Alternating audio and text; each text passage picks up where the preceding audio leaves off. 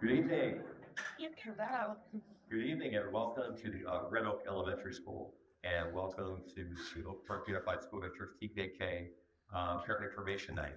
And um, the first thing I want to do is introduce myself. My name is Jeff Davis. I'm the superintendent, the proud superintendent of the Oak Park Unified School District. And um, I will tell you one thing, and then I'll go on with my little spiel. You made a great choice. If you're a resident of Oak Park, you made a great choice. If you're a DOC parent, you made a great choice. If you're on permit, you made a great choice. That's all gonna tell you, because you, you are, you are now part of the number one, um, school district in the county of Ventura, and one of the top ten academic achieving school districts in the state of California. So you made an incredible, incredible choice. And the stars of the Oak Park Unified School District are twofold. Um, our students and our incredible teachers. And over to my right are our incredible TK and K teachers. And I just wanted them to stand up for a minute so we can applaud them. So that,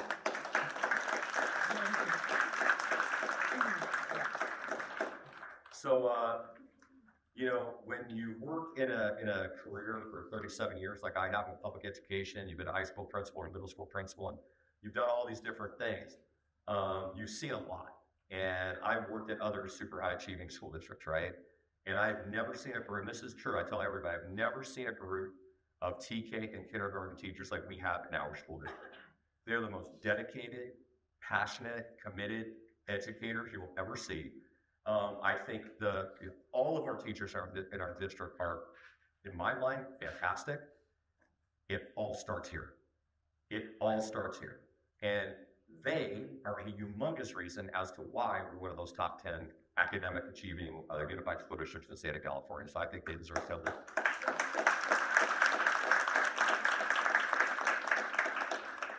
um, and so tonight you're going to learn a lot. You do have, you do have a packet. You do have your gold Turk pencil. Very cool, nice little takeaway today, party gift. Um, but first, I wanted to introduce some other people. Then I'm going to hand it off to Mrs. Uh, Tammy Herzog, who is our Assistant Superintendent Services. Uh, but real quick, um, I wanted to introduce uh, the President of the Oak Park Unified School District Board of Education, Mrs. De- Denise Helpstein. Um, real quick, um, the Board of Education in this district is incredibly supportive. Um, every time we go to them, we say, hey, we need this, we need that, you know, whatever. Um, and it's the right thing to do for kids. They have never failed us. They have always done the right thing for kids. And I think that's another reason why this school district is so phenomenal, because we have Board of Education members, you know, the, their, their children went to school here, or they go to school here, and they're very, very passionate uh, about this school district, about this community. And I think that's really, really important. So I am not going to bore you anymore because all these other people have all the important information. So I'm pleased to bring up now our Assistant Superintendent of Educational Services, Mrs. Tammy Griffiths. Good evening. Good evening, everyone. It's so exciting to see you here. This is the first step in your child's educational adventure and journey. And we're so excited that you decided on Oak Park Unified School District and that you've entrusted us with your child. That is the greatest compliment you can give to us as an organization, and we appreciate that. Um, we have a lot of information to share with you tonight, um, and I think you're going to um, enjoy it. Um, I'd like to ask a couple things. First of all, we're going to have a question and answer session at the end of the presentation, so if you could maybe jot down your questions um, and hold them for that time, that would be fantastic. I also want to let you know that we have a website. Our opusd.org website has a special TK page with FAQs. So any questions that you might have, in addition to the ones that you have tonight, um, you can also find um, those on the web page. So please make sure you visit that as well. And we'll put that web um, site address up at the end of the presentation you could jot that down. It's also about the note packet. Um, so at this time, I'd like to meet, uh, introduce a few others um, who are doing this tonight. I wanted to do a quick shout out to our tech support Here we have Eric and Noah who um, and I also wanted to introduce um, some of our speakers who will be presenting um, tonight. Um, my name is Tammy Herzog, as you know, I'm the Assistant Superintendent of Educational Services. Um, next to me, I have um, Jennifer Golden. She is the Director of Early Childhood Education um, and Program Support Specialist. We have Mr. Brad Daniel, um, who's our Director of Student Support and School Safety. Um, we have Mrs. Sarah Hall. Um, she's our Director of Extended Care. Um, Diane Diamond is the principal of uh, website that be with us this evening, uh, but she also assisted with the presentation. Um, Mrs. Heather Sloan is right and she is the principal at Oak Hills um, Elementary. And then we have Mrs. Jackie Wanda, who is the principal here at Red Oak um, Elementary. So they're going to be um, helping us with the presentation tonight. Um, and just before we go, I had a couple more introductions. Over here in the corner, we have um, Mrs. Ellen Chevalier, who is our administrator of curriculum and instruction, and she helped out with this presentation of this evening, so thanks to her. And then I wanted to introduce individually each of our teachers uh, at this point in time. Could just stand up and wave when I introduce you. Um, from um, Brookside, we have Casey Webb and Barbie Lee. And representing Oak Hills, we have Andrea Sue. And from Red Oak, we have Jamie St- oh, Jamie's not here. Oh, wait, that's, oh, that's right, I'm sorry, that's, uh, Jamie Stiskett right here. Robin Lund. And Amy Bettina. So we appreciate all of them coming out. They're as excited as you are about the new potential batch of little ones coming our direction, um, next year. All right, um, Fair.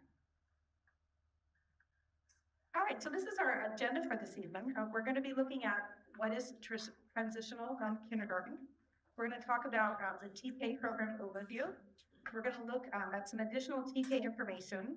We'll then transition into kindergarten, and specifically about our kindergarten program. Uh, and we'll talk about Bug O Park, which is our after-school program for our students.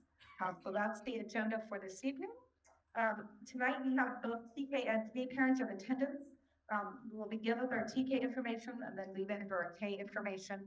Uh, again, a reminder that our TK program is a two-year program, so your students will be doing both TK and K. You don't skip K if you do TK, it's a two-year program and you would do both of those years.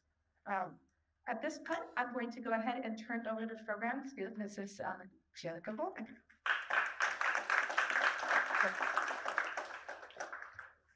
Thank you. Well, welcome, everybody. Um, I see some familiar faces, and as one thing that you said on the way in, um, they already have had one child go through TK, but things are changing, so they came back to learn more and uh, hear what, what's going on um, and what is what's changing in the world of TK. So this is a milestone. Um, it might be your child's first experience in public school.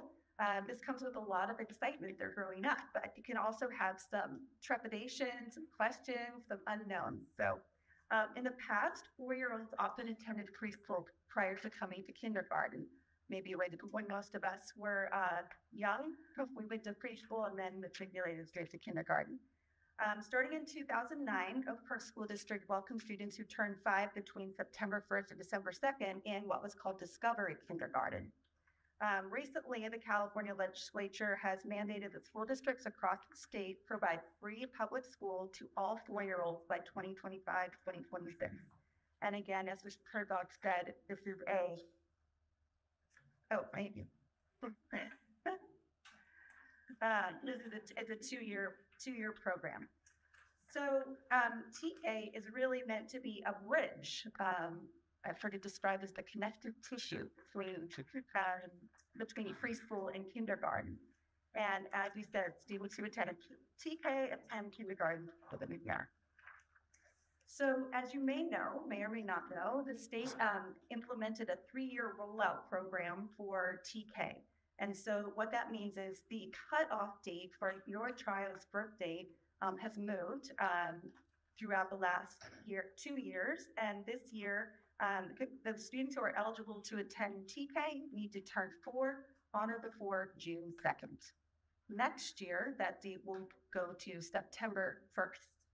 And that, at that point, all four-year-olds will be included in the group. So there, um, it was a three-year rollout of that program. Um, I did also want to mention that that, that date is really, we stick to it pretty strictly, really strictly. Um, and while some uh, in the past, we've used TK assessments for placement. That is no longer the case. So what we use the TK assessments, if your child has come to do a TK assessment, the teachers may have explained that we are using those to get to know your child and also to um, to help us balance the classes so that we kind of know who's coming in and have um, you know different types of students at different levels, all the participating in the classes. Um, so over the overview of our program, TK is a four-hour program, four hours a day, and we're using developmentally appropriate materials and curriculum. Um, all of our teachers are highly experienced and both in child development and they also are credential, you know, credentialed teachers. Uh, we have a maximum currently of 12 to 1, and but we have a cap of 24 on those TK classes. So um, what that means is there's always two adults um, in the classroom with the 24 students. Not every class, we, that's the max that we were at. Uh, and our, our TK students have access to our elementary, elementary counselor and positive behavior support, just as all of the other grade levels do. Um, and there's a lot of collaboration between um, the, the preschool and the TK um, t- teachers in terms of students who, are, who have attended our preschool, what they're doing in our preschool, and helping um, to collaborate with what goes on. in-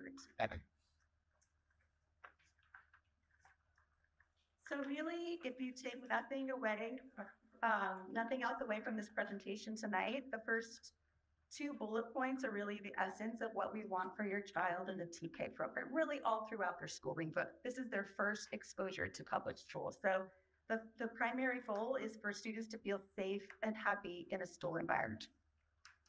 And we want to foster a love of learning.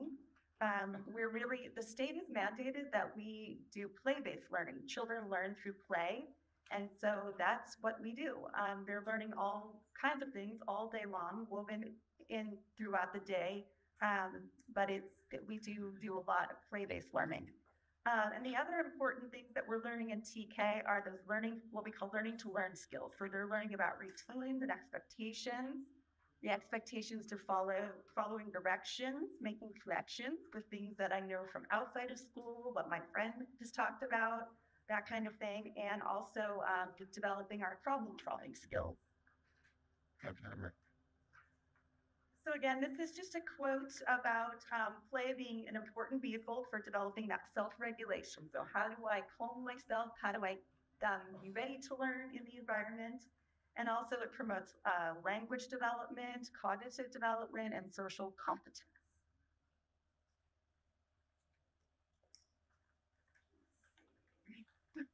Yeah, I'm turn over to um, Jackie Longo, and she's going to take it from here.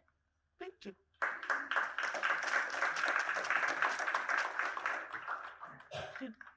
Hi, welcome everyone uh, to the Cumberland Tour. I'm going to step up to the side. Right. Um, so I have a lot of trust and confidence in the program here, so much so that my daughter is in CK here right now, and I think she's in the Pacific class. So in addition to that, I am very much so part of the community. I live right next door to school.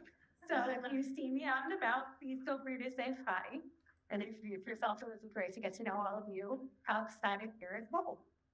Okay, uh, moving into social emotional behavioral learning. So our little ones have a lot of big feelings and big emotions. We may see that at home with your little ones as well. Here in TK, we really focus on our children being able to have I statements. So being able to identify those emotions. I say, I feel mad or I feel frustrated. Whatever it is in that moment, giving them that language. Seven. And addition to that, and Jennifer spoke a little bit about this as well, problem solving is really big in TK. We want to give our children strategies and skills to be able to solve conflict. That takes a long time for our children to develop, and it starts right here in TK. We'll see that on here as well, as far as self-advocacy, of making sure their children are being able to stand up for themselves. So if someone is doing something, they can say, I don't like that. So a lot about giving our children the tools and strategies when they're having those big feelings and having to overcome. There's a lot of diversity. So I'm sure I told you my fear children is working with fighting or we're doing to do service duties. And for the speak big classroom, we have a lot of dramatic expression. There's dress up, fiction, our children get to pretend, they may form a family or a house. And then we have specials as well. So with the specials, it's not just available for kindergarten through fifth grade, it also goes to our students in writer as well. Those specials do include Art Trek. Art Trek is a company that we contract with in order to provide art for our students. But they do not just get art during that time. They also have art naturally built in throughout the day. With our TA teachers, they do a lot of art within the classroom. Library as well. Um, they have books that they bring home weekly, and we have a librarian at every single elementary school. We also are going to be having music next year, so we're excited about that. And then innovation lab, our students have the chance to think critically and create. We have Legos um, within the innovation lab. They get used to how to work different apps on the iPads in there, but there's a lot of play thinking critically and collaborating together. And then field trips are also there. Field trips are not um, specific on here as they might vary from site to site. And then that's my little red. Red.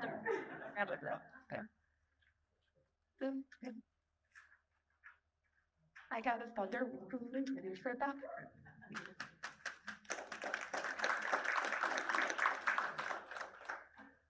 So this is a really important slide. Um, this is a sample schedule. This we took from the beginning of a TK year.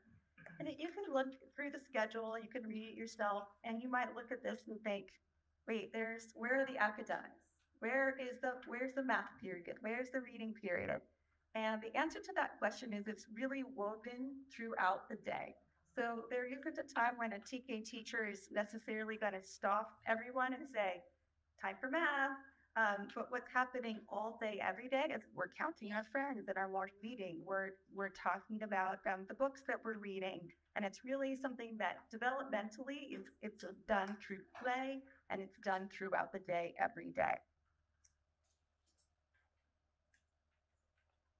Um, in terms of self-care, what we, I it's, toileting is a big one. So um, we want students to be toilet trained when they come to TK. Now, what we recognize is that this is a process. So there are times when uh, four-year-olds have accidents, and we have a plan for that. However, we want to make sure that you, as parents, know that um, it is it is um, something that we're hoping that you're working on, um, especially over the summer. Um, I had a parent ask me a couple of years ago, should I should I help should I teach my child to wipe? Yes, you should teach your child to wipe before they come to CFET. Um, so when they do come to, to TK though, the staff do provide multiple reminders for toileting throughout the day. They get really good at looking, you know, noticing the potty dance, that kind of thing, um, making sure that, that students have lots of opportunities to use the restroom. Um, and also provide reminders for the routines such as flushing, hand washing, that kind of thing. Um, staff can assist with clothing, but we encourage you to help your child to be as independent as possible, to dress them in, you know, things that are easy to take on and off. Um, it also doubles if they're not sent in their best clothes. It helps when they get muddy on the playground, um, and that we have extra clothes available in the classroom. If um, they do get muddy, they can change into their extra set of clothes, or they have a good reading. Um, and if your child is still working on that toileting independence and they're they're not quite there yet, that's something you would want to let your teacher know um, right away at the beginning of the school year, just so that we're prepared and we can have a protocol for that. So again, the expectation is that we're working on it, and you know that the kids are um, toilet trained when they come into into TK. But again, we recognize that it's a process. Sometimes uh, parents have asked the questions: Is we're that bridge between preschool and kindergarten, are we doing naps at TK? And we do not do, do naps. Um, so we have the early dismissal. And so, you know, some kids still may nap when they get home, but we do not do naps at school. Um, for lunch, the TK students don't eat lunch at school as part of the school day, but the lunches are available after school. For example, um, at Red Oak, um, just like now parents can pick up the lunch and the students, with the students, so they can enjoy the lunch on campus. So, um, they're provided by the school district.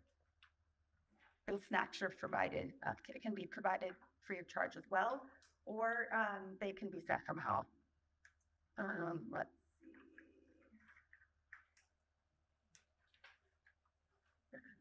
And with that, I'm going to turn it back over to I'm actually going to jump back a few slides. There was an important slide that we next missed on um, learning, or if not, go back and to to highlight this one. So um, all of our um, activities that we use are based on the preschool TK learning foundations that are set by the state of California. Um, so uh, that guides everything that we do in the classrooms. Um, there's a strong focus on language development for all of our students. Um, our pre-literacy skills that through things like letters and sounds, concepts of print, like tracking as you read, um, vocabulary, etc. Um, looking at pre-math skills. Um, the students do a lot of counting. Um, as like the school we're just talking about, uh, they actually do some basic graphing, um, some number identification, uh, one-to-one correspondence of objects, um, and those types of things. Uh, for math, But again, it's all the play-based learning. So the students don't know they're learning math, but it's really fun, that they're doing these things along the way. Um, and then we have pre-writing, um, can include how to hold a pencil, um, drawing, coloring, uh, those types of skills. Um, and then they also have some social studies and science built in um, throughout the day as well. Um, so I just wanted to highlight that slide since we missed it earlier. Right, we are now going to move on to kindergarten.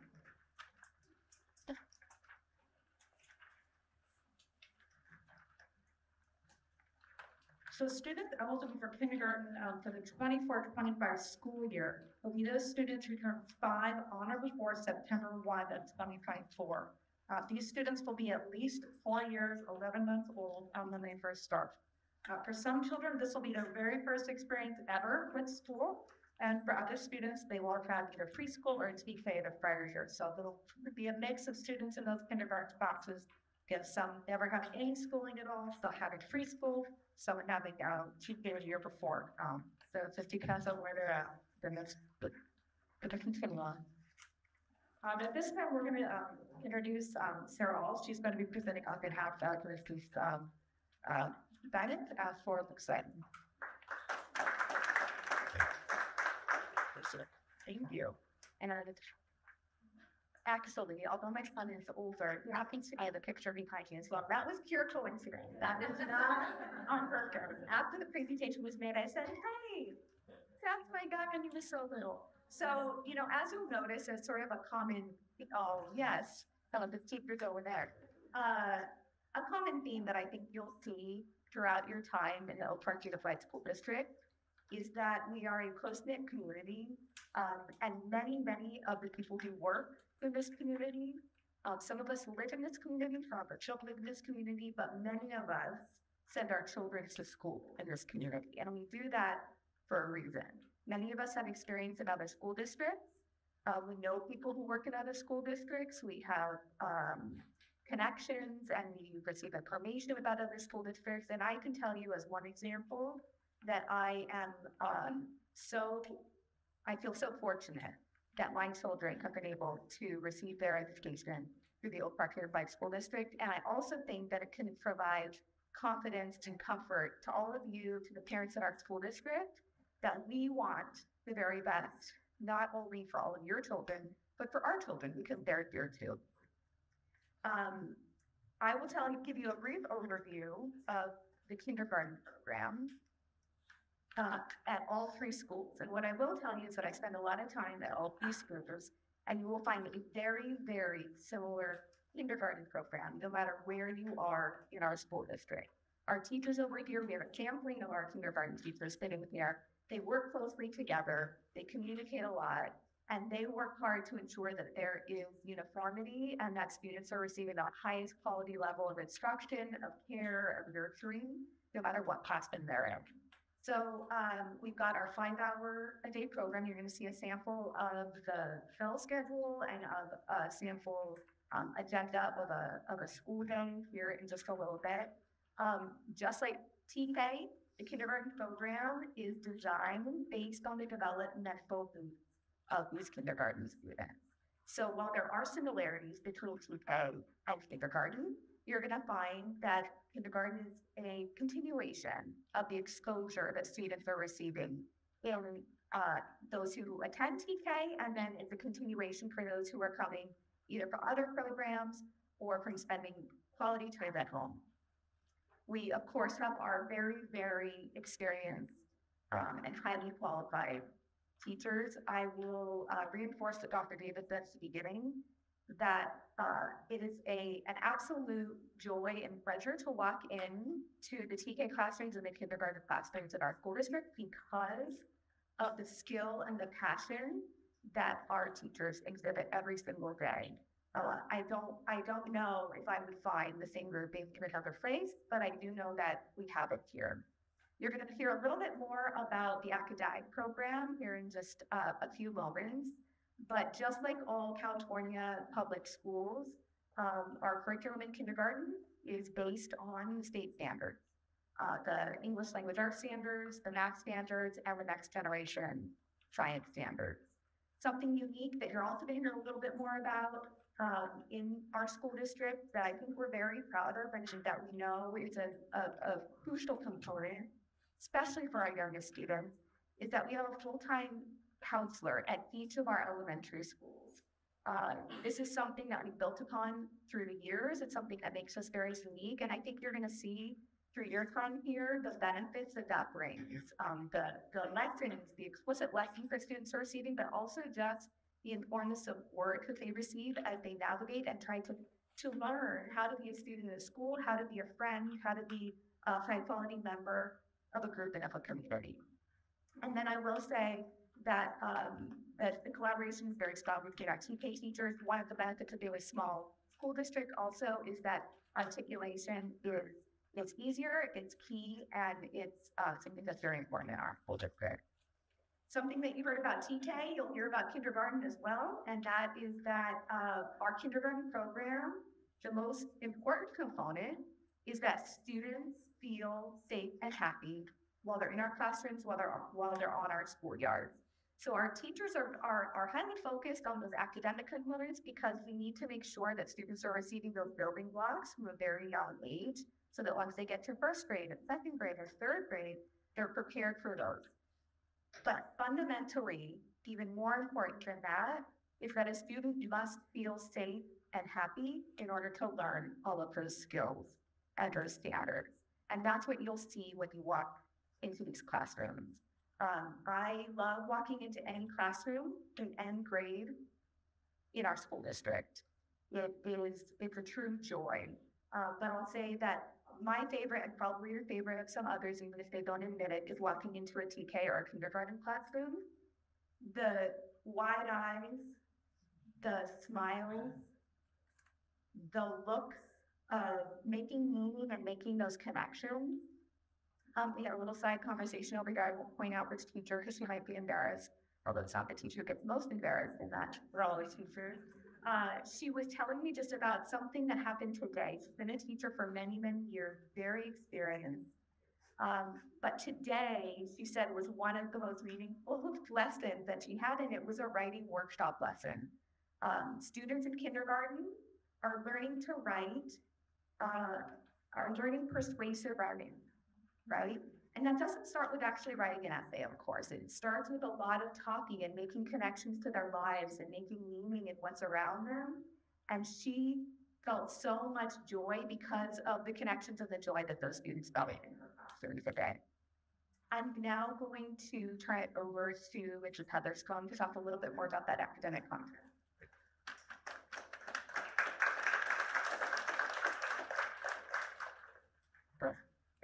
I can firsthand to what an incredible secret they team because until very recently I was blind. Um, and they are, that's probably more than any of the grade level in the district. We work together so free and we focus on what is best for the kids. We're always sharing best practices, always discussing what works, what doesn't, what do we need to do to change our curriculum to improve it. To better address the needs of the kids that are coming through our classrooms. Again, just as is all mentioned, it's all focused on learning the state standards. Those uh, Common Core Math and English standards and the next generation science standards. All of our learning is based in hands-on experiences because we found through research that students make meaning when they can have experience with something first and build meaning with what they experience. So it might just be playing with a stack of blocks one day. And the next day we'll be stacking those blocks and seeing how far we can get that stack. And then we'll work on dividing that stack into two, which has more, which has fewer. And starting to build experience experiences with number starting to build vocabulary, starting to build capacity for that academic learning. Um, all comes in through those hands-on activities where it's engaging and it's something they want to do because it's fun and exciting and every day it's amazing the story in kindergarten. That's why I love it so much. Uh, our science, just like our math and reading, is based on hands-on experiences. We want to give these kids opportunities to explore the world around them. And love our FOSS Science program because it's really based on what they find around them in nature. So looking at how the sun behaves and what the ground feels like in the sun versus in the shade. And what does that mean for, can I go walking around with bare feet in the summer or in the winter? Or taking all those natural phenomena and relating it to themselves and using what they observe and what they experience to make meaning and make predictions about the world and then test those predictions and learn from what they've experienced. As we teach reading and writing, it's very much the same. We spend a lot of time engaging with literacy all throughout the day. We sing songs, chants, poems. We sing as we talk, as we jump. We recite poems as we are going to lunch or going to eat. We are always engaging with the verbal, the written, and reading what we see, looking for examples of print in our environment, um, encouraging kids to go home and look at signs, look at letters in the grocery store, look for opportunities to make meaning out of what they see. And all of that, it's very magical. I, I think that's the part that I love about that process the most is that one day a parent will come to me and say, You're bad, you walked. They did it by themselves. How did you do that?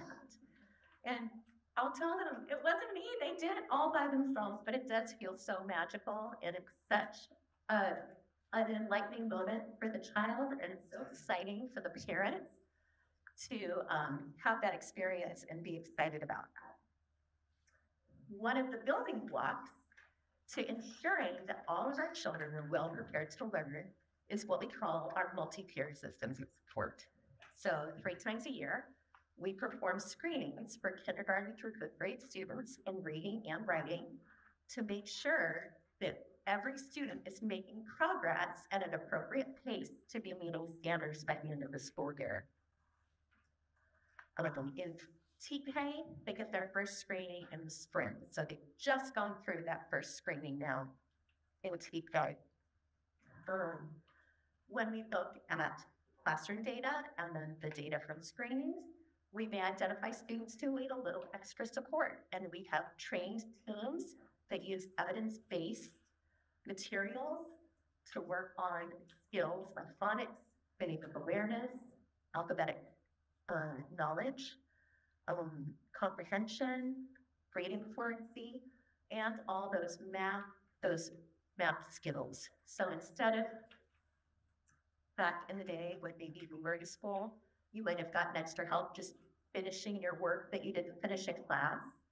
The research has shown us that if we go back and we help the kids fill in those gaps with those skills that they maybe haven't developed yet, they'll be much better prepared, more likely to not continue to need that support. We fill those gaps, they can learn at the same pace as their peers. And that is the hopeful of our multi-tiered systems of support. And the earlier we can support them, the less likely they are to continue needing credit support. Um, looking at our kindergarten schedule, it's a little different from the TK schedule. We are transitioning more towards a traditional academic schedule. You'll see reading and math and writing. We still have specials. They still get to experience art and innovation lab and library like everybody else.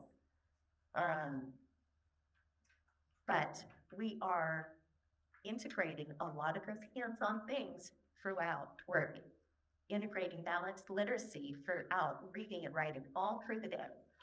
Um, also looking for opportunities to play. Um, just like TK, the play brings out that meaningful learning and the opportunity to solve problems, the opportunity to learn how to go along with others. Because one of the big things that happens in kindergarten is we start to do a lot of partner work. And that starts from having the opportunity to play with other kids so we can learn how to start solving those problems. Um, in the words of one of my very favorite principals, who dares to say your child is the center of your universe and should be, but they're not the center of the universe. So we need to teach them that they're not always going to get their way. And it's a hard lesson, but it's a real life lesson. And a big piece of kindergarten is helping them understand how I handle that when I don't get what I want? How do I learn to work with others? How do I learn to let others choose and not just me? And that's a big piece of kindergarten. It's all in Good. everything we do in kindergarten past driven. And now I'm going to and the gal got it.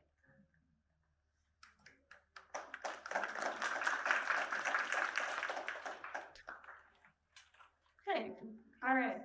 So you had a chance chance to learn all about the different elements for TK and kindergarten. I'm sure that you'll have questions. I hope that you've been writing them down throughout. We are almost open with our presentations, and we will have the opportunity in our to research to ask those students. The question is, okay, now what can I do? I want to get my child ready. First thing is, take a deep breath. It's not up here, so I'm asking you to do it. It's going to be okay. Your child is four, they're improved TK, possibly turning five or they're five already, but it's third kindergarten. They're going to be ready, the child will be okay. There are some things though that you can do if you want to. Um, one thing that always helps is read their cycle, have their budget train with them, give them the opportunity to learn, and come look at the fifteen book. Talk about the story, what's going on in it, ensuring that's read together with your child. Another thing that you can do is practice the physical specific crayon. Just being able to hold a scissor it's a skill that they work in TK and in kindergarten, but it's something that if you practice at home, it will help them develop those fine motor skills. Holding it, scissor, crayon, thinking about what kind of pencil you have in your house or a crayon. They have those double crayons or those um, pencils that are so differently as well, different pencil grips. So thinking about what you can do with your writing and critical status is equal how your child is holding that new pencil while they're drawing. Finding the source. A lot of that could just even be as you're cooking at home. You know, it's like you're having to take out, be letters, yesterday. And it doesn't make sense, but bear with me. Okay, so for example, taking out spinach, you've got a container, right? One, two, three. Seeing if they can fill the number with your reviewing cigar. Self-care practice. This is the biggest one. All right. Think about all the things that your child has to do in order to get ready in the morning and some new parents will make their life easier. All right. Not only do you have to get yourself ready, but also be about getting your child ready in the morning too. Have them try to pull on their own underwear, pull on their own pants. How do they put on their socks? Their shoes. Socks are the hardest thing. Um, shoes, make them into a heart. Thinking about different things, cutting the stickers in half, putting half of a sticker one shoe and half the sticker on the other, which will go on which foot. all different tips and tricks that you could do. Thinking about the um, backpack and your lunchbox. So that exciting moment when your child gets their backpack. And when they pick out their lunchbox container or their snack container. Practice closing it, opening it, putting it in the backpack, how to zip your backpack, how to put a jacket on. Go through the motions of the day and think about all the things that your child will need to do. Yes, there's some. Okay, there's adults that can help. Having that practice at home though will help her to feel more independent and will also make sure that they get their needs met quicker instead of having to wait for someone to come over and assist them through all the the helpful to there. Positive messaging. Our children are so receptive to how we're feeling or the go. The more excited you are, the more excited your child will be. Feel free to take walks in front of the school where your child will be placed. Go, this is the school you're going to go to. This is so exciting. I should wait for you to be there. All the excitement that you have, your child is going to sense it and they're going to get excited too. It's a really wonderful moment. And I it's a big deal for you if you're to have your children start here in TK, training in the elementary school. They're going to control wonderful experiences. Now I'm going to go ahead, oh, I remember. Um, I'm gonna go back to toilet. That's also part of the day. They go to the bathroom, so, um, practice wiping. Sometimes, you know, it's even going through the motions of Pull the toilet paper off the roll. How do you rip it so the whole entire toilet paper roll doesn't fall out? Um, how you fold the toilet paper so that way you can wipe. I don't think it's more specifics, but you know, just practice. Because all those things that come natural to us, we had to learn, and this is what your children are doing right now. They're learning all these things that come naturally, so really break down every single step and thinking about what they have to do to get ready. Up wiping boogers. I have a four-year-old, okay, I get, uh, the practice, how do you blow your nose? That's a really hard one. They may not get it until later on, it's okay. But just practicing these things are going to help your child feel confident to feel successful coming to school. I'm going to hand it over to Mrs. All to talk about up practice.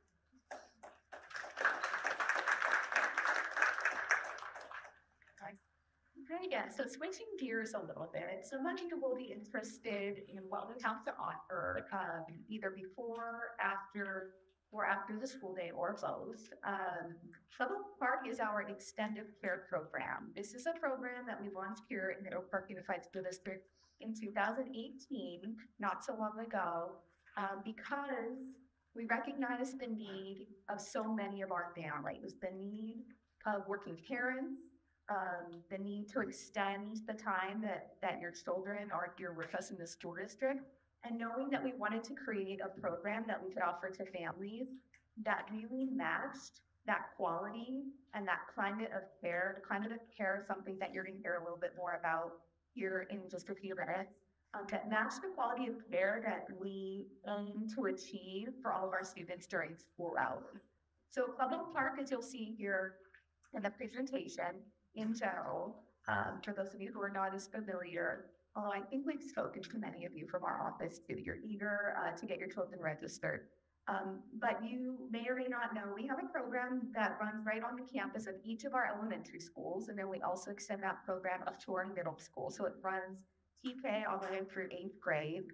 Um, we provide care on every day that school is in session, and we also offer care on many of our non-school days. Those are days when the schools are closed, um, spring break, winter break, some of our staff development days, local holidays, and those are days that you can choose to register your children.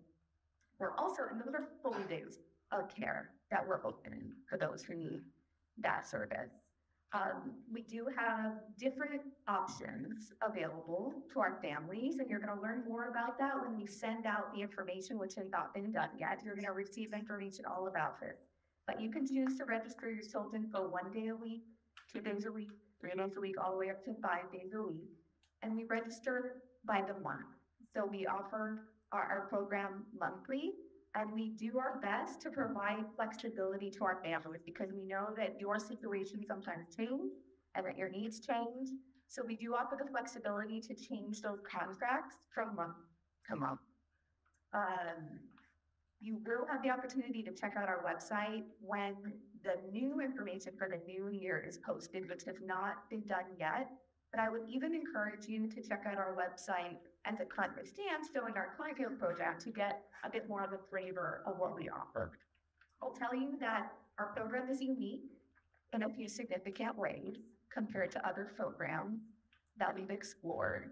Um, first off, we really aim to carefully select the staff that we hire to be with your children.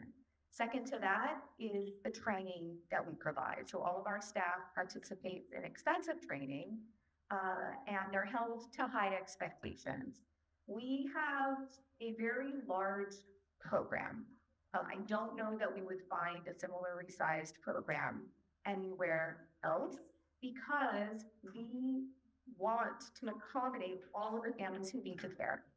And so we don't cap our enrollment numbers at a, at, at, at a maximum per se. We ask parents to register within a registration window, and then we do everything we can behind the scenes to prepare for that number of students and for those individual students who are coming to us.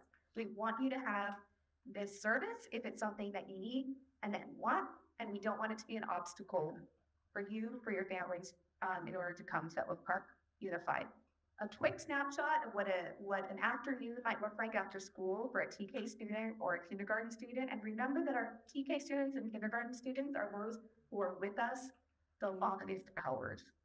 They're dismissed the earliest, right? Because when your children get up to first grade and then when they matriculate to fourth grade, they're going to have a longer school day. But because TK students and kindergarten students are dismissed at around 12 or 12 15 and then at 115 in kindergarten, they're with us for a really significant amount of time. And we know the importance of that. So we know the importance of creating a program that is meaningful, that you know that when you send your children to our program, that it's time well spent, that it's a nurturing environment, that it's a fun environment, that it's a stimulating environment, and that they're getting an extension of some of the skills that are being provided to them during the school day. Those are our objectives. So we have snack time. Our students need to be nourished and they need uh, to be fed to continue those afternoons. For our youngest students, we do start our afternoons after the school day with downtime. Talked a little bit about naps and that we don't do naps in elementary school. But we know that especially at the beginning of the year, these students are tired, really, really tired. And so we know that in Club Park, bringing them in and over to us, that we have decompression time, we have quiet time, we have mindfulness time, and then we jump into some other activities. We move into snack time to nourish them. We move into indoor and outdoor activities from recreation to arts and crafts. Um, we expose them to STEAM activities, science, technology, um, exposure to engineering type activities. Something that we also do is we build on the uh, social emotional behavioral learning program that Ms. Longo spoke a little bit about called Second Step. We adopted in our uh, for after school hours, the second step program that's designed for after school hours. So those skills and learning how to resolve conflict, how to be a member of a community, we extend uh, those lessons and those activities into our after school program as well. Um, I will say that aside from Club Park, you're going to be receive information once the school year starts on some other after school options that are offered to students at all of our elementary schools. Other after school enrichment type classes, those are offered through a separate organization who we work with. Um, one of those programs that offers a large majority of our after school enrichment classes to families is called Growing Outdoors. So you'll receive information about that. And that's different than Club Park, our extended peer program. We also have other organizations that come in and offer um, various programs like musical theater, and you'll receive information about those. Um, and those those typically don't come until the school year. And those are offered in different trimesters, and there are a lot of really great options. Everything from chess to woodworking to dance, um, and you'll hear a little bit more about that. Uh, I encourage you to take a look at the website, but also please feel free to contact our office through the email um, or your phone number if you have more questions about Club Park, and I'll also be here to answer some questions at the end. I'm going to turn the mic over to Mr. Brad Benioff.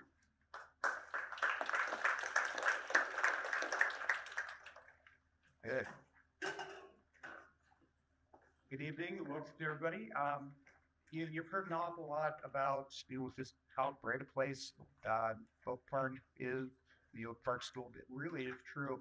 And sitting thinking, again, hearing this presentation again for, um, how many years, and it's always a, a bit new and fresh, and um, I'm not gonna show you any of the pictures of my kids. They're, they're not that cute anymore. But, um, but they, they did go to Oak Hills and, uh, and got their start here. And, um, I think that was really kind of the crux of this is the climate of care that we, we talk about all the time has already been woven through a lot of the discussions, um, that you've heard tonight. Um, and it's because we, your kids are our kids. When, when they, when they come here, we, we call it, we, they're our kids. And we're not taking them away from you, completely, but that that's how we feel about it. And, and all of the different things, you know, yes, there's the academics, so we try to we think a word for the academics, but I also want to point out what is our district motto. It's right down here at the bottom. It says educating compassionate and creative global citizens. When they walk out of here across the stage um, in 14 years um, from our high school, we have a huge goal that we want them to be goal, not just solely based on academic, not just based on you know um, a performer or an athlete or something else. They want to be the whole person, and that starts with the FIPE, starts with kindergarten. Um, so again, I, I can go through each of these different topics about our, our nutrition program. We, we know that all these things to take care of the, the child, your health, overall your wellness, uh, both physical and mental, you, if you don't have that that strength, the the the, the, um, the wellness, you're not going to achieve academically or, or other in other arenas too. So we want to make sure that um, our partnership with you can entails all of these things. Contrition um, is a real highlight in this district. Uh, unfortunately, uh, our director Catherine Adams couldn't be here tonight to really go through all the details, um, but the food is really good. And um, I, I said that I was a small time middle school at Padilla. And you know, middle school food, you don't think of as, yeah, that's something I'm going to seek out. you do, and, and and the kids really like the food, and it's nutritious food. It's not um, something that's just pre prepackaged all the time and you know off the shelf. Uh, we have really dedicated uh, food service workers and and programs who, and I I told um, you know, just that, that yeah, again, fresh, seasonal, organic, non-GMO, uh, free of hormones, um, California grown. All these things are, are tenets that we do into our, our nutrition program. And, and there's a huge amount of uh, attention to pay to that and policy to pay to that because that's important for the kids to be well, to then achieve. Okay. Um, so there's that. I, I'm a huge proponent of, uh, of sleep. If anybody pays attention to sleep studies um, in, in the United States, and particularly with students, um, we're, we're all very sleep deprived and our kids get that way too. Starting sleep habits very early is critical. And, um, and so, you know, I'll, I'll say this, I said this last night at a webinar, but um, screens and everything having your kids off the screens early, get them to sleep. Um, it is so critical to, to their development. And I'm not just talking about doing that in kindergarten. Um, develop the patterns early um, and, and the habits because it is absolutely critical to that.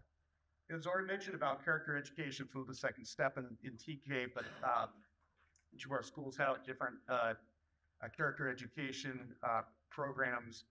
Um, and tied to the next one that has already been highlighted, each of our elementary schools has a full-time uh, credentialed counselor.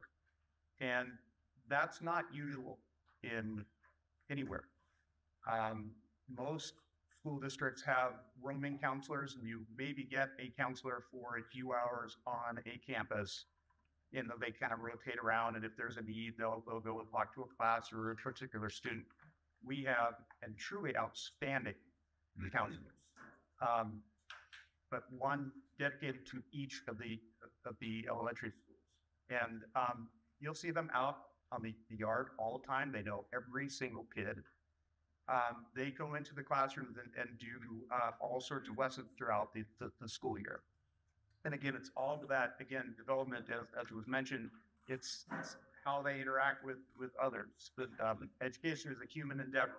Things go wrong.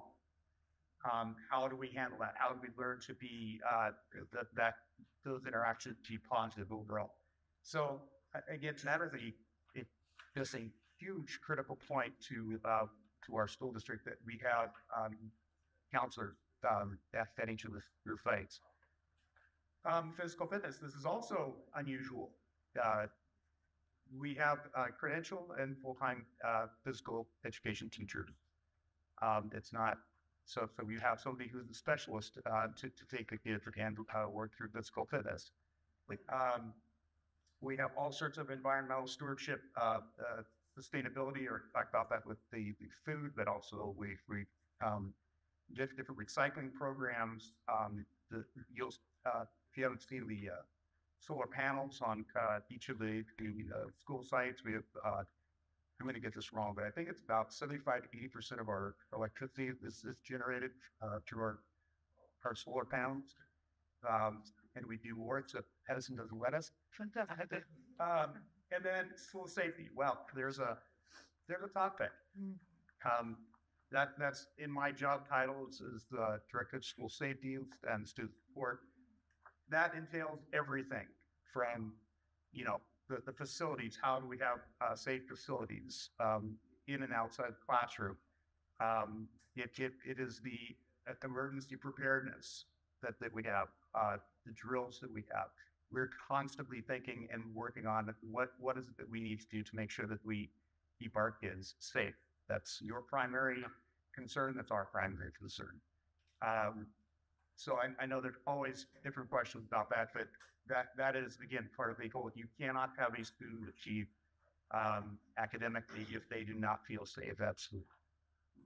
Um, and then just briefly, uh, we, we really encourage maintaining the balance, um, you know, at school, at home.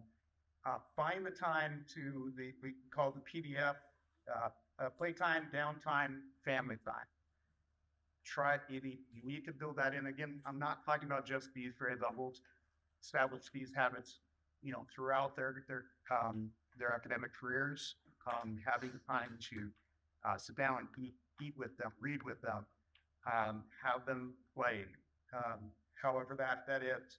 Um, really really focus on that with with home. Again that that carries over to what what they end up doing at, at school. Our homework policy we've had a, a homework policy in place uh, for, um, I probably last 15 years or so, where there's not homework per se. And wait a second, wait, you said per se. Um, there's not mandate, mandated homework um, at these grade levels. It's there might be suggested activities. We do suggest that uh, you are reading with with student um, at, at home. There may be some activities that come home with, with uh, a message from the teacher that say, you know, we did this this at school today. You might want to work with them on again counting or however it might be. But it's not something where they're going to be graded the next day on, uh, you know, turn in uh, turn in this this sheet for that. Okay. So again, I, I just want to. There's there's so many topics to this that um, I really could for you throughout the entire evening um, about uh, safety, about student support, but I, I come back to the teachers are unbelievable and they care because your kids are our kids. Right. Again, uh, uh, welcome and uh, en- enjoy the overall journey.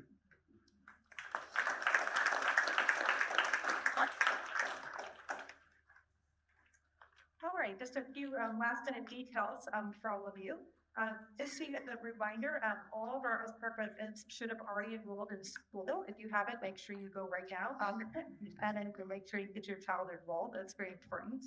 Um, our district of choice families, um, will see, receive an email in early May, um, regarding their school placement. So curriculum you are the OC you should be receiving that up next month. Uh, I just wanted to make a couple of comments about class placement. Um, the Friday before school starts, um, the teachers will be posted online, so your student's teacher will be available at that time for you to see and view. Uh, that's usually done on Friday after school starts. So keep that um, in the back of your mind there. As far as TK and K, uh, K orientation, you will have an actual orientation with your child's teacher um, before school starts. So this is just a broad overview. You'll have an actual uh, orientation in the classroom with the teacher um, prior to the first day of school. So that's something that you'll be looking for more information on um, in July. And should um, receive information from the school about that specifically. Um, we do do our best to ensure that um, all of our students remain in their neighborhood schools. Um, we think that's very important. Um, and or with siblings um, at whatever school they are attending. Uh, for DOC families, um, we anticipate anticipate notifying you um, by May um, and the notification should come from Kara Newton. Um, so look out for those emails as well. Um, no one will find out their teacher before, you know, we have the, the teacher posted and then you'll have a chance to meet that teacher and go to the uh, orientation um, at that time, um, right before school starts. Um, and just a reminder, all of our teachers are fantastic. You've seen them in the front row here. They're bubbly, they're fun, they're student centered, they love kids, and they're going to love your students like they love their own. Uh, so you really can't go wrong with classroom placement. So all of our students are placed in classrooms um, you know, that we try and balance classrooms. So we have a similar number of boys and girls, and we have students at varying levels in each classroom. So you're going to be thrilled no matter who you get. Uh, so I just wanted to throw that out there. I know this, especially when it's your first teacher, your first child, there's this, who's my child's teacher going to be? Well, just trust and know that, that they're going to be well taken care of, um, regardless of who their teacher is. Um, it's an exciting time to be sharp. Um, Right now, I want to open it up for some general questions. Um, if you have specific questions about your child, it'd be better be contacted us individually. Um, but for any general questions, I'm actually hoping that uh, you guys could come back up again and then we'll try to stand here and it's, uh, there's anything in particular, I just feel the questions. So are there any questions that anyone has? I know we filled non-limited here, but any specific questions, anybody? I was mentioned, I want to mention that, uh, your clarity uh, I to the parents them pick up those funds. So I I won't I don't expect to uh, pick them up since I think that it'd be uh, after school care. So how does that work with snack or lunch situation? I didn't. Um, so- I'll repeat the question. There was a question about uh, TK and lunches. Since lunch is not uh, in the middle of the school day and lunches are provided to those who are interested after the school day, we make sure that students receive those lunches, whether they're going home and being picked up or whether they're going to Club Oak Park in the after school program. So we find out, um, I believe TK, we find out from the parents and the teachers find out in the mornings. Uh, and that's all coordinated through our student nutrition program and the lunches are then given to the students, correct? I have a TK teacher nodding, yeah. I didn't say it as well as you would ask. Does that answer something? Yes. Great, but absolutely the. Are any other questions? Yes. Uh, I have another other hard question. Uh, are the senior for people they when go with what grades like are they separate or they mix with older grades? How does that work for the federal back? Okay, good question. This is a Club Oak Park question and are this, are the students in trilingual? They're grouped by grade level. Um, and only later in the day for students who might stay with us when our numbers have dwindled down because we don't keep all of our staff as late in the day when we don't meet all the time because of our enrollment numbers. Our students that intermingle with over more.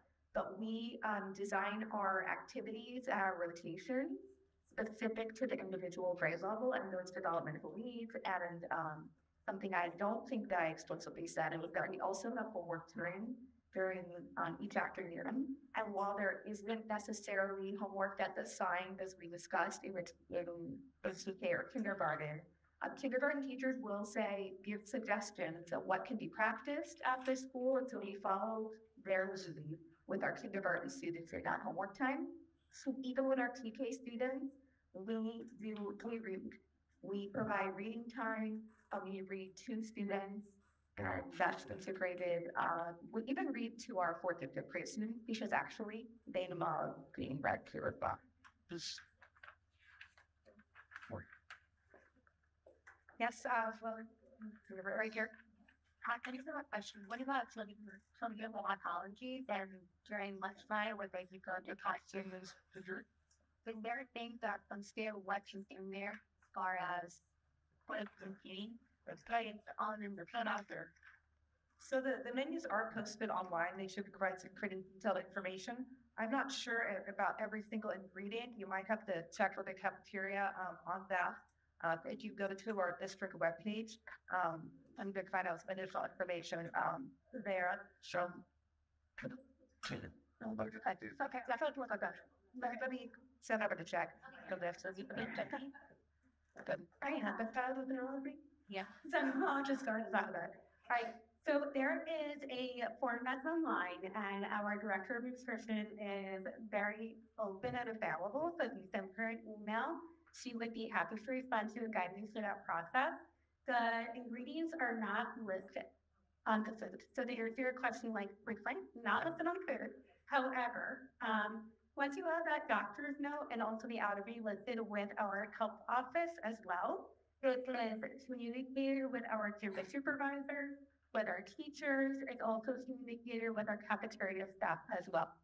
We um, do have food that is prepared that is meat-free, so vegetarian, as well as food that's clean.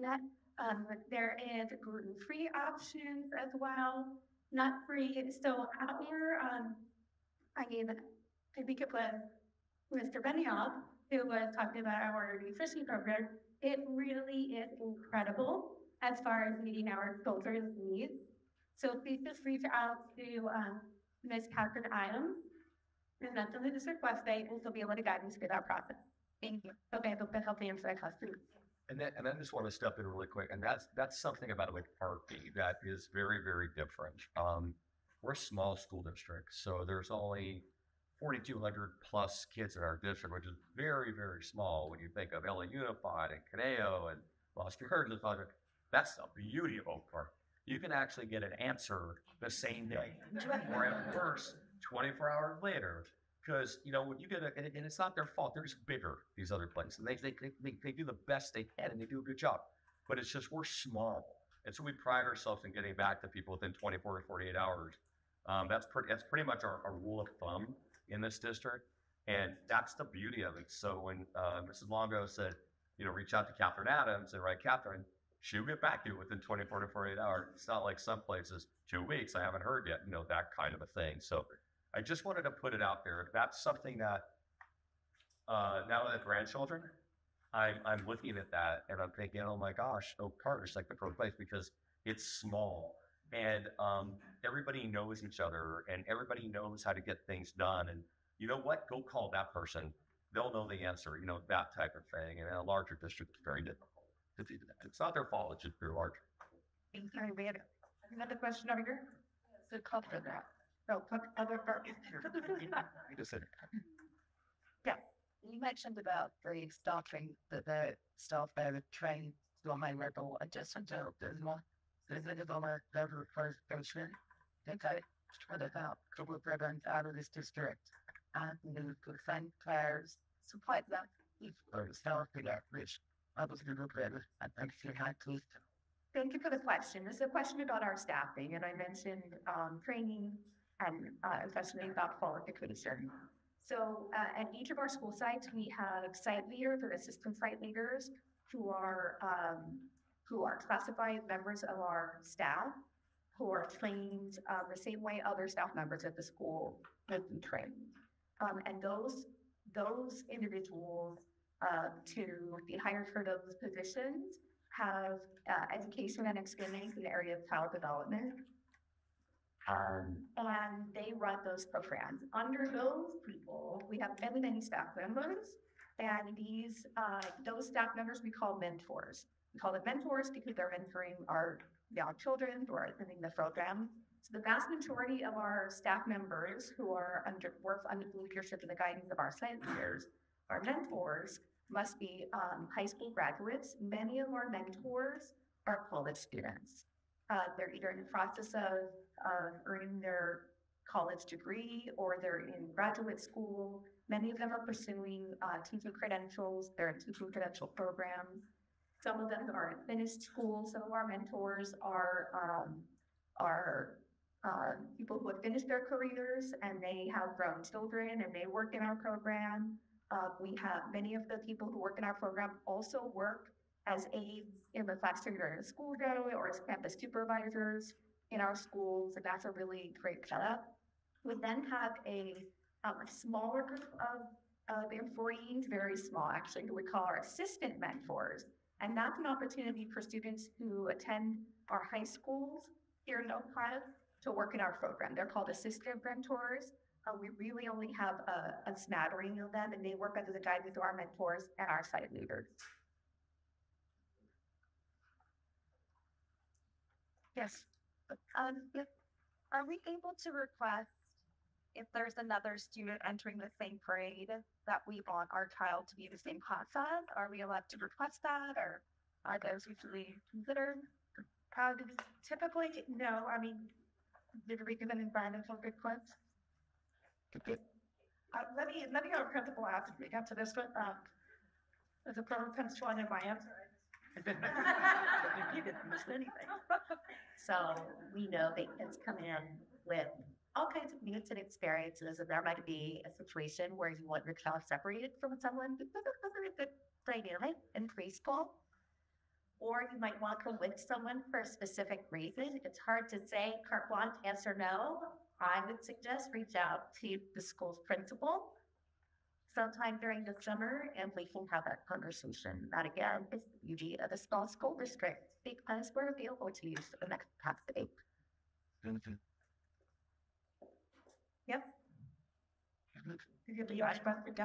So I have a tinker. I would like to know how the picture for the lunchtime, like he very picky eating, very very picky. So how like I don't know like how the picture like I for sure I gonna let him to be stay in the the old club, but for the lunchtime you gonna have a staff take a look then or how how how the picture Do you want to go there? So we had a question about picky eaters. And um, I had our 50 eaters at home. I serve 90 year old picky eaters, and they get less picky as they get older. They're being exposed to more foods at school. I will say that because of the program, the student nutrition program here, and the food that is scratch cooked in our kitchens, um, students are being exposed to all their friends eating it, especially because it's provided to anybody who wants it, right? There, there's a, we have funding to provide that to all students. But um, the question is, you know, will they be supervised to make sure that they eat? And I will say yes and no. Yes, they will be supervised. Um, and I think your question was specific to a TK student who will be attending Club Oak Park after school. And yes, we train our staff to be ro- rotating, observing what students are eating or not eating, encouraging them to eat the, the healthier parts of their lunch before they eat the other parts of their lunch. Like get into the heads of what the parents will want to see in the lunchbox when they come home. But the, the no part of my answer is that we, we can't force them, right? And so we really encourage you to have those conversations over and over. And then whenever you have, just like Dr. Davis said, whenever you have a specific concern to speak to, to me or to the person at Hubble Park or your child's teacher or whoever it is, to say, hey, I'm, I'm observing this. My child, you know, is, hasn't eaten anything all day. Is there anything that you can do? Can have those conversations. And, and in the state of California right now, the public schools, it's universal meals for all. So you know, everybody, they're gonna get their meat, right? But it's still old school too. You can still pack pack the lunch with your kid, and you can sit with your kid, and you can go, okay, here's your fruit, here's your veggie, here's this. This is what I'm expecting you to eat today. You know, so so you have those options, which makes it kind of neat for parents nowadays because you have the school nutrition option, which here is phenomenal. You already heard it and the other option of, of going over that the night before with your child and going, here's your applesauce, and here's your this, and here's your that, and I want you to eat that. I want to bring it home to me. I want you to show me, you know, that kind of thing. Mm-hmm. And when they're little, you can do that later. They'll fake you, they'll toss it, they'll trade, do whatever. But when they're little like this, show us a good.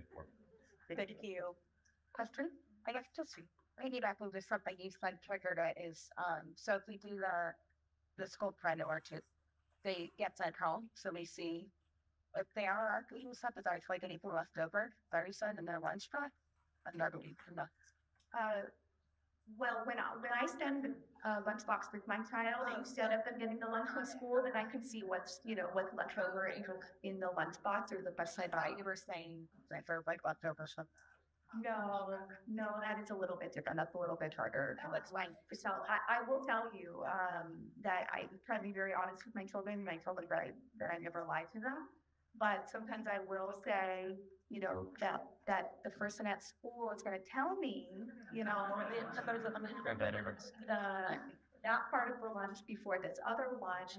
And there are people watching, so it's, it's, it's truth, it's truth at some level and that works too. But the positive, the peer pressure actually, um, will, will help over time as well, seeing the other students eating those. those foods. Question over here? I said to my, that her first line, and then we'll go through and say, yes, and I said, I'm sure they're going to, we're them together on. I go, So, yeah, I'll let Heather come and answer that question, I'll just repeat it. The question is, during the school day, do the TK students, um, play together with the kindergarten student? And I believe it's the case. They don't overlap at Brookside. Okay, Adam. Okay, so Red Oak and Oak Hills, the recesses in the morning time overlap. So they do have a little bit of time where they play together, especially in the morning. At Brookside, because of the space available to keep the kiddos safe, they've staggered their recesses to give them space to spread out their elbows and not crash into one another. Yeah, uh, but the kindergartners and TK kids are in their own yard on all three campuses. So they're not out in the yard playing big kids ever. Like that, I words, uh, is for a brand there. Uh, naturally, then going in the super. And it's still couple parts that we just do the that kind of theory us to stay less out and they're, they're, Hi, to come back and over the first question that you had to clarify for Red Oak. Um, and then your question as well, the second one, I think, is also having step in. Uh, Red Oak, TK and K are in the yard together at off until the school day begins at eight fifteen. At that time, we have a lot of adult supervision outside. Then TK and K are not having recess again together the rest of the day. So just to clarify, there are some differences amongst the elementary school site. It's also very dependent on the spaces that we have. So that also gets taken into consideration. Okay, hold for. I want to clarify your second question, um, that's a, our TK student coming in and a third grader who are coming in. And so, um, yes, we have a program in Club Oak Park for students to stay up until three o'clock. That's an option, that's a contract option. So parents have option to, to have their students not go program until six P M. But we have a special option, um, at a lower cost because it's, it's less time with us for TK and kindergarten students who will be picked up no later than three o'clock. Was that your question about the grouper? Yeah, and that's, that's for convenience for, for parents who are in, you a they All right, we're gonna go ahead and hang out here for the next five or ten minutes if you have any additional individualized questions, but we'd like to thank you for attending. We have some contact information for our principals. We have our district website down here, comment full TK FAQ page as well. Um, and so please visit us and thank you so much for coming in.